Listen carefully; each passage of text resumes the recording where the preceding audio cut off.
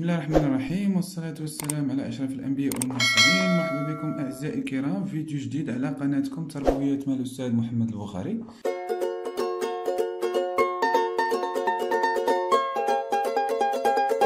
اليوم غادي ندير معكم الحصة الرابعة مشروع تكنولوجي صنع ميزان بشريط مطاطي ضمن الوحدة الثالثة وحدة تصنيف وخاصيات المادة إذا الهدف من هذا الفيديو هو التدرب على صنع ميزان بشريط مطاطي واستعمله لإثبات أن الكتلة لا تتغير بعد تحول المادة أو الخلط. إذا في هذا الفيديو غادي نتعرفوا على الطريقة الصحيحة باش نصنعوا واحد الميزان بشريط مطاطي اللي غادي نستعملو باش نأكد أن الكتلة لا تتغير بعد تحول المادة أو الخلط بعد تحول المادة أو الخلط. إذا كاينين ثلاثة ديال المراحل. اولا أحضر الوسائل. ثانيا أنجز المشروع. وثالثا أتقاسم وأقوم المشروع. اذا اولا أحضر الوسائل. اذا ال matériel يعني ال matériel اللي غادي نستعملهم باش نصنع هذا الميزان بشريط مطاطي. اذا لصنع ميزان بخيط مطاطي صورة رقم واحد. إن الصورة رقم واحد توضح ماذا؟ اذا هي صورة ميزان بخيط مطاطي. ميزان بخيط مطاطي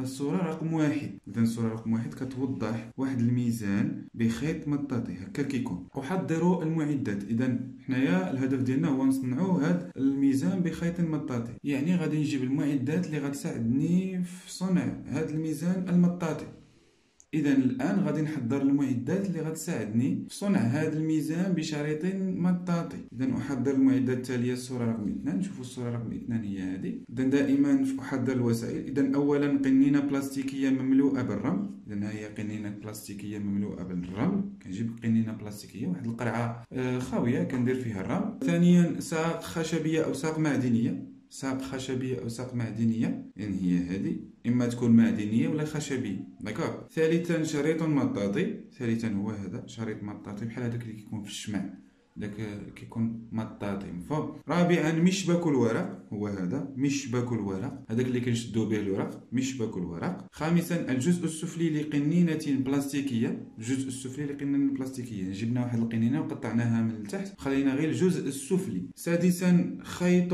وسلك. هي سادسا خيط وسلك. وسلك. داكوغ. سابعا شريط من الورق المقوى. سابعا. هذا شريط من الورق المقوى. شنو كيكون فيه؟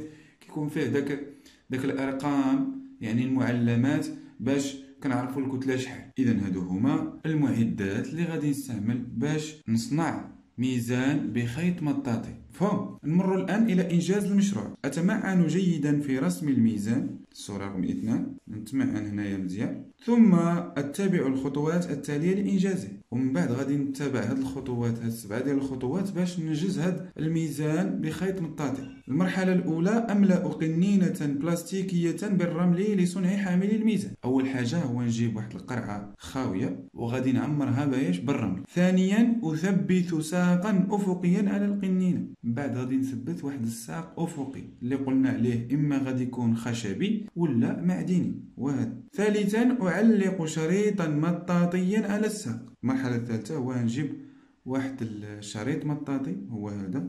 ونعلقه على هذا الساق اللي قلنا إما خشبية أو معدنية. رابعا على الطرف الآخر للشريط المطاطي أثبت مشبك الورق. الطرف الآخر ديال الشريط المطاطي غادي ندير داك المشبك ديال الورق. هانت. الطرف هذايا علقته في هاد الساق الخشبية أو المعدنية. والطرف الثاني غادي نعلقو بداك آه، المشبك ديال الورق. خامسا أحضر الجزء السفلي لقنينة بلاستيكية لصنع كفه الميزان. من بعد كنجيب واحد القرعة كنقطع لها غير ديك القاع ديالها بحال هكا. شنو غادي نصنع به؟ غادي نصنع به داك الكفة. يعني الكفة هي اللي غادي نحط فيها داك الشيء اللي باغي نوزنو.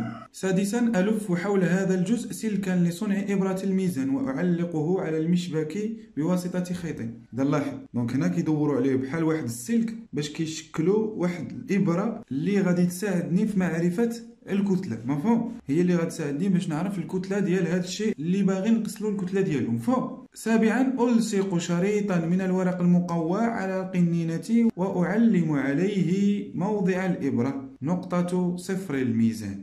صافي؟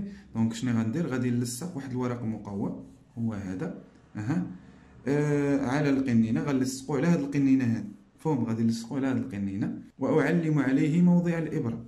وغادي نعلم عليه موضع الإبرة يعني صفر واحد إلى غير ذلك. وبهذا غنكون نجزت هاد الميزان بخيط مطاطي. مفهوم؟ ثم نمر إلى أتقاسم وأقوم المشروع أعرض منتوجي على زملائي وأشرح لهم طريقة أو كيفية اشتغاله. أتأكد من حسن اشتغال الميزان وذلك بتتبع موضع الإبرة عندما أضع شيئا في كفته الصورة رقم واحد ورجوعها إلى موضعها الأصلي بعد إزالة الشيء. يعني كنتأكد من أن الميزان خدام مزيان ومن أنني إلا وضعت فيه أو في الكفة ديالو شي حاجة كيحسب لي الكتلة بشكل دقيق. كذلك ملي كنزول داك الشيء اللي آه، حسبت له الكتلة ديالو كترجع الابره إلى الصفر. donc هذاك مؤشر باش نقول هذا الميزان راه مصنوع مزيان. النقطة الثالثة لأتأكد من عدم تغير الكتلة خلال وبعد الانصهار أضع قطعة جليد في كفه الميزان ثم أسجل موضع الإبرة. أتتبع تغير موضع الإبرة أثناء وبعد الانصهار واستنتج اذا إحنا قلنا الهدف من صنع ميزان بشريط مطاطي هو استعماله لإثبات أن الكتلة لا تتغير بعد تحول المادة أو الخلط. مفهوم؟ إذا هنايا إذا هنا غادي توضع واحد القطعة ديال الجليد في كفة الميزان ثم أسجل موضع الإبرة يعني أسجل الكتلة ديالها. أتتبع تغير موضع الإبرة أثناء وبعد الانصهار. إذا ومن بعد عاوتاني ما ينصهر أنا كنتبع داك الموضع ديال الإبرة. واش كيتغير؟ ولا لا مفهوم واستنتج إذا الاستنتاج اللي غادي يكون عندي هو أن الكتلة لا تتغير بعد تحول المادة أو الخلط إذا في هذه الحالة تحولت لي الماده من مادة صلبة إلى مادة سائلة. وما تغيرتش الموضع ديال الإبرة غادي يبقى هو هو. إلا تغير غادي يكون المشكل عندك في الميزان. ما غادي يكونش منجوز بشكل صحيح. ثم انتظر الوقت الكافي لانصهار قطعه الجليد كليا. ثم استنتج النقطه الموالية لأتأكد من عدم تغير الكتلة خلال وبعد الذوبان. أضع كمية من الماء مع قطعة السكر في كفة الميزان ثم أسجل موضع الإبرة. أتتبع تغير موضع الإبرة أثناء وبعد الذوبان وأستنتج. أنتظر الوقت الكافي لذوبان قطعة السكر كليا. نفس الشيء. إذا النقطة الأخيرة التجربة هذه غادي نديروها باش نعرفوا واش آه إذا خلطنا مكونات مختلفة واش غتغير لنا الكتلة. إذا هنايا واخا نخلطوا داك القطعة ديال السكر مع الماء ما غتغيرناش الكتلة غتبقى هي هي. إذا هذا هو الاستنتاج.